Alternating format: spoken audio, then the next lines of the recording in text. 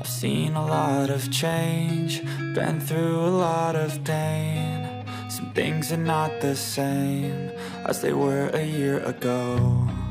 But all will be okay. I move on each Salam sejahtera dan salam Malaysia Madani. Selamat datang ke Info Viral Kini.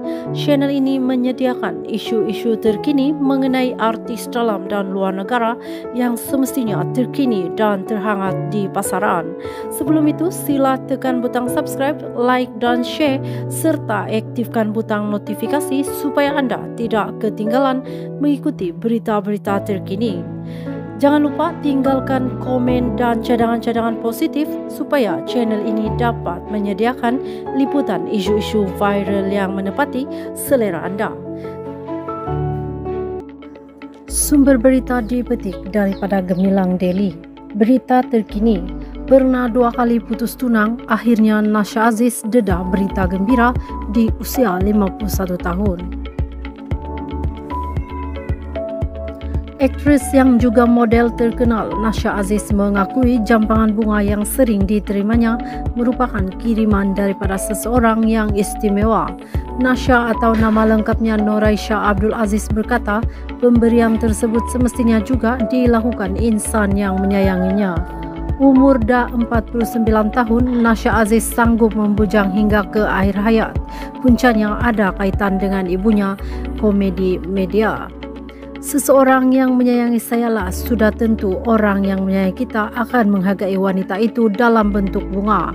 Saya rasa itu simbol cinta, betul tak? Simbolik bunga itu adalah mungkin supaya saya selalu mengingatinya kerana mungkin dengan sifat itu beri bunga dia boleh menarik perhatian saya dengan memberikan bunga katanya yang sudah mengenali individu rahsia itu sejak 9 bulan lalu.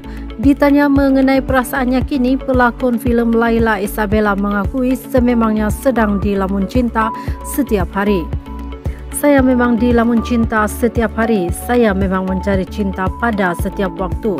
Cinta itu bukannya datang dari seorang lelaki dan wanita saja, tapi kita semua, ujarnya. Ditanya mengenai kriteria lelaki yang menjadi idamannya, Nasha 51 bagaimanapun mengambil pendekatan untuk tidak berkongsi tentang perkara itu.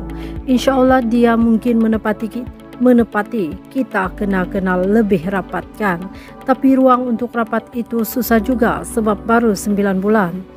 Katanya ketika ditemui pada majlis sidang media filem terbarunya Talbis Iblis arahan Kabir Batia di panggung Asia Gombak sebentar tadi. Berkongsi mengenai penglibatannya dalam filem bergenre Seram itu, Nasha berkata dia menerima naskah tersebut selepas beberapa kali berbincang dengan penulis skrip dan pengarah sekaligus keluar mahu keluar dari zon selesa menerusi watak yang sering dibawakan. Terdahulu, penerbit terkenal Fazil Teh mendedahkan Nasha sering menerima jambangan bunga ketika berada di set penggambaran naskahnya terbitannya.